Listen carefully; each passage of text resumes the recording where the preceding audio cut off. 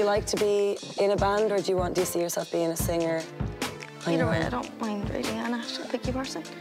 To be honest with John. You're in any genre, or is it just R&B, kind of R&B? Oh, Yeah. Tell me you need me when you call me on the phone. And I'm nearly done.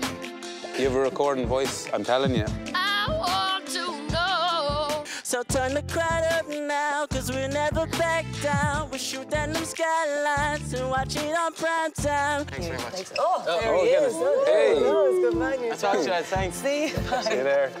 I know what you're at, on. Thanks, lads. See you there. He's the first man who's kissed me all day.